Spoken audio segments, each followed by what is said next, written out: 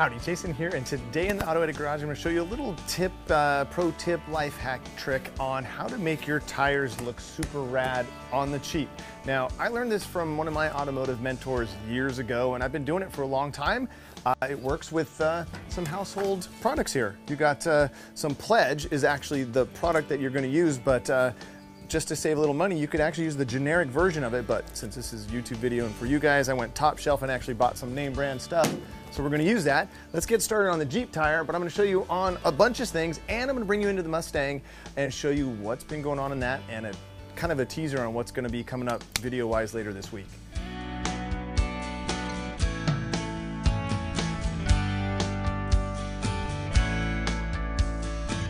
Now the reason for the pledge as opposed to just an armor all is that on if you don't want that like super drippy wet show car-y look on your tires which i don't really like you know and like for like a concours or like a really traditional restoration or you know just a good handsome looking car i just want a deep rich looking rubber on here. I don't want it to look like it's, you know, you touch it and you're just gonna have slime on your fingers. And I don't like the buildup that Armor All uh, eventually does. Now this tire, if you noticed, um, had pledge on it a while ago and then now it's just plain.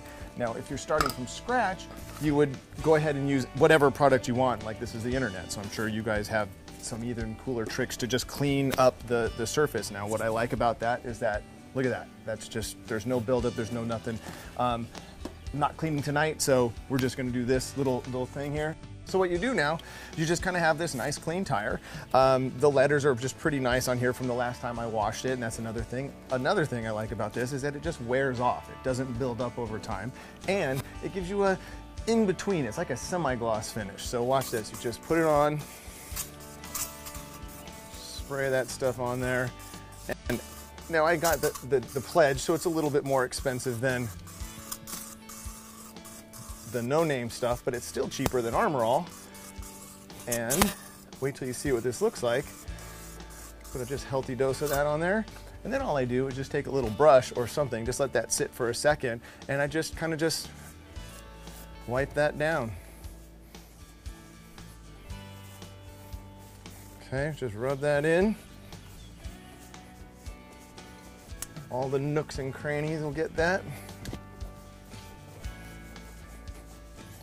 And it lasts it seems to last for just the right amount of time too.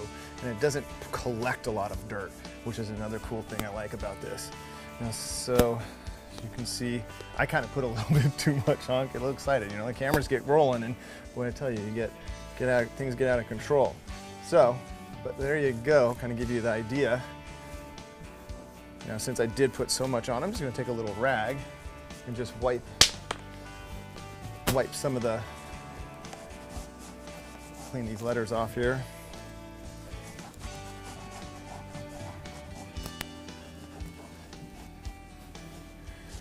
Keep those looking good. Wipe a little bit of the, the top sheen off and then that's it. Look at that. See now that to me is just a really handsome looking tire. It's not too drippy, shiny, wet looking, but it's really, really nice looking tire. So this is the pledge trick that I've learned over the years and give it a try. You might like it. I'll go ahead and get the rest of the tires done on the Jeep here since, uh, you know, we're in the mode. Same thing, just get a good healthy spray onto these things. And since this stuff you can get on sale cheap, it is actually cheaper than at least Armor All I've noticed. Now another thing I want to pay attention to or talk about again really quick is these Rugged Ridge XHD wheels here. People asked about these a bunch when I was in Moab and in some of the other videos and uh, they're really handsome wheels and I really encourage you to go to the Rugged Ridge website to check these things out because uh, they stand out, they work great. Here's an, actually a really cool little feature. I bashed these things on a rock when I was in Moab just because I'm new and that's just kind of what you do when you're wheeling your stuff and that's awesome.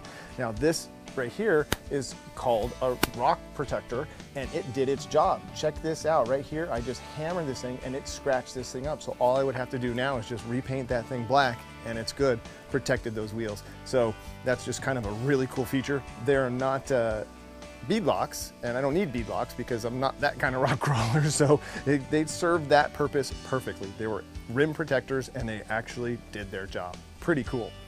All right, since we got, now since we got that on, I'll do the same thing I did to that back one and just kind of dab the stuff around so you don't have any just sitting there and get it into the nooks and crannies, make them look real good.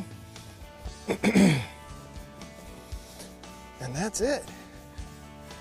Do a quick uh, wipe down on the rims, but boy, look at that. Look how handsome that looks.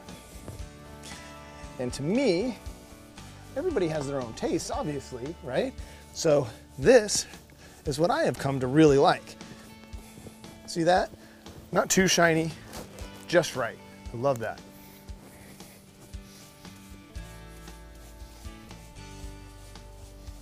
And because it's kind of just like a wax on here, it doesn't have any, it doesn't fade or crack or do any of that weird stuff that some of the other products I've used have done. And it just wears off, which I like.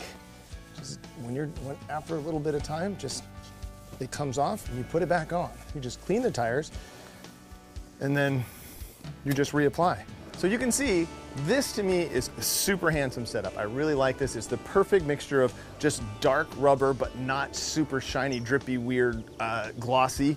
And uh, it's still aggressive and then it still protects the tire and it lasts just the right amount of time where you can, it just comes off, it doesn't build up and it just you put it right back on after you, the next few washings or whatever. So it's pretty cool. Now let's go put that on the Mustang tire. I'll show you how on a normal car tire, it still looks just as good. Check this out.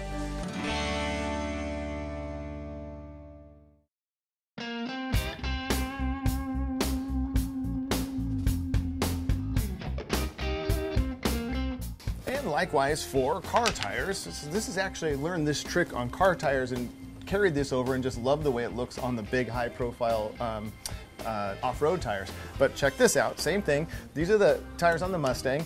Uh, these are actually new, so the, these haven't seen the, the, the light of day yet, other than just in the driveway, but this works exactly the same. You just get a little coating on there like that. I do the same drill. Just do a light rub in with this thing. And look at that. This just helps me get it into the treads here on the ends and make it look real pretty. I mean, real handsome. And there you have it. Look at that. See, to me, that is just perfect. Nice and dark and rich, but not too glossy and weirdly car showy. Not that that's a bad thing, you know, that's, everybody has their own taste and there's a, a end game for all of this stuff, but this is what I want to drive my cars around and have them look like. So that's why I, once I learn this, this is what I do. Check that out. Pretty darn handsome, I think. So let me show you what's going on in the engine bay of old Large Marge here because uh, something really exciting happened last weekend. Yeah, I mounted the engine. It's pretty awesome. I will probably shoot a video this weekend, or at least in the next few days, of how I got that done and how everything's looking. There's actually a transmission in there, a cross member, engines mounted. Um, it's coming along. There's a lot of work to do left in there. Let's go in there and I'll show you what I'm talking about. Since the 1973 Mustang is such an odd duck, I ended up having to make my own engine mounts from a Total Control Products adjustable Ford kit. It looks pretty good so far, and I'll go into more detail in a future video, but yeah, buddy, there's an engine in there. So there you have it. We have uh, a pro tip or life hack trick on how to make your tires really handsome. Uh, we also have a big swing, a big chunk of work done on Large Marge here, and that's really exciting to have the engine inside this thing. Now don't forget to check back later this week when I try to get that video up on how I did that and made the motor mounts and uh, transmissions in. Everything's looking really good on this thing, so I'll have a video catch up on all of that and how that, that went. Plus, don't forget to follow me on the Instagram, AutoEdit Jason there, or on the Facebook. I actually try to post something almost every single day over there, so you can interact with me there all the time or find out what's going on uh, on the daily. And don't forget to check back for more videos here and subscribe if you can and share. Until next time, enjoy your drive.